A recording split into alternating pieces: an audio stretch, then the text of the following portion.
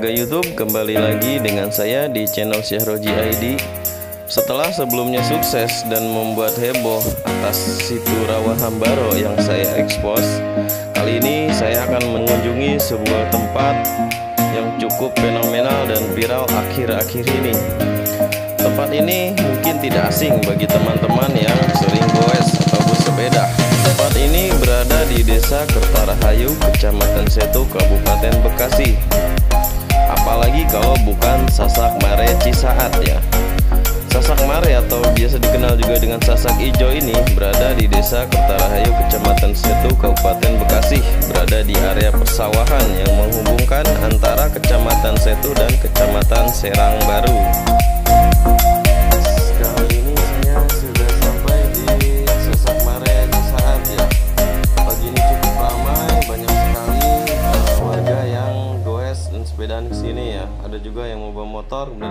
Yang mau bawa mobil di atas sana parkir.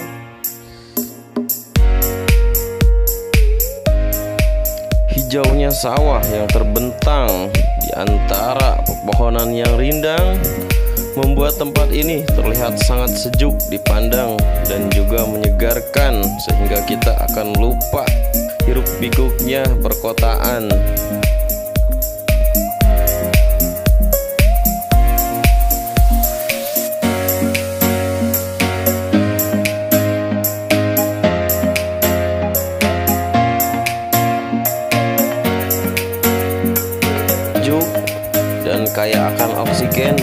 merupakan suatu kebutuhan semua makhluk hidup. Untuk itu, mari kita jaga tempat-tempat yang asri seperti ini agar tetap masih bisa dinikmati oleh anak cucu kita nanti.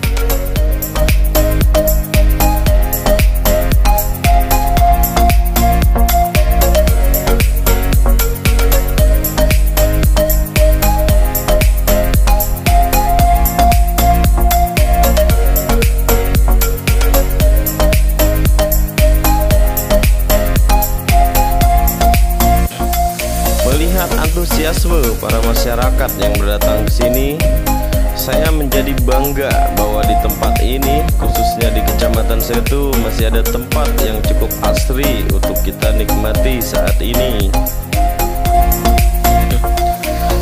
Ketika saya mendatangi tempat ini, Sasak Mare sedang proses pengecatan oleh unsur pemuda dan juga Karang Taruna Desa Kertarahayu.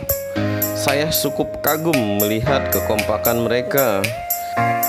Ini menjadi bukti bahwa mereka peduli tentang menjaga apa yang ada saat ini.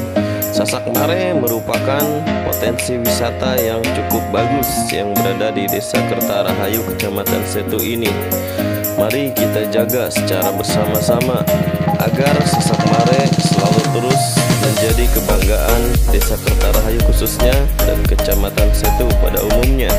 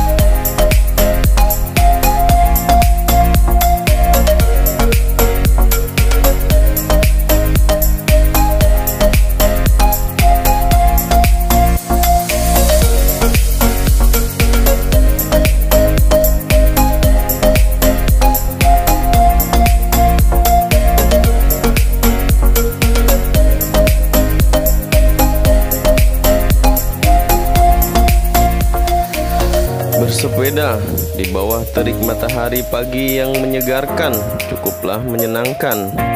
Menyusuri jalanan kecil dengan disuguhkan pemandangan yang hijau membuat mata ini cukup dimanjakan.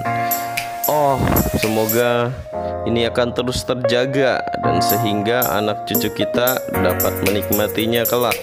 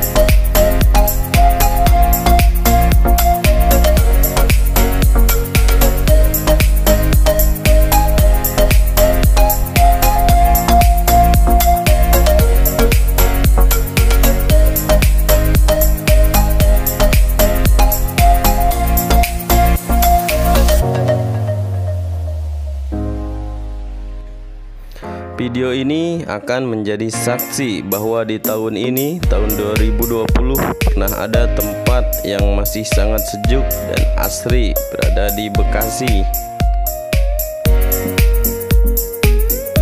Akhir kata dari saya, semoga alam ini akan terus terjaga dan kita semua masih bisa menikmatinya hingga nanti. Salam lestari.